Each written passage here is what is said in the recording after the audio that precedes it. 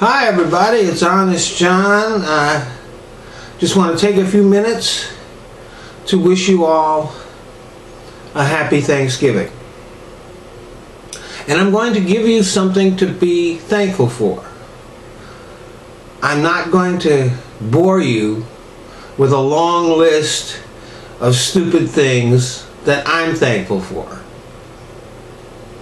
We all have things to be thankful for. Some of us more than others. Some people don't have very much. Some with the most don't seem to be very thankful. So why flaunt what I've got?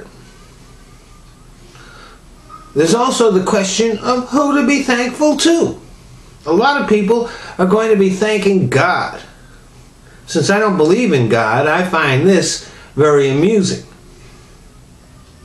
We thank God for food a farmer grew and that we bought with our hard earned money. Should starving people thank God that they're not fat? Should sick people thank God for their aches and pains? If someone does something good, thank him directly, not your imaginary friend. I am thankful for stupid people because they provide me with material for my act.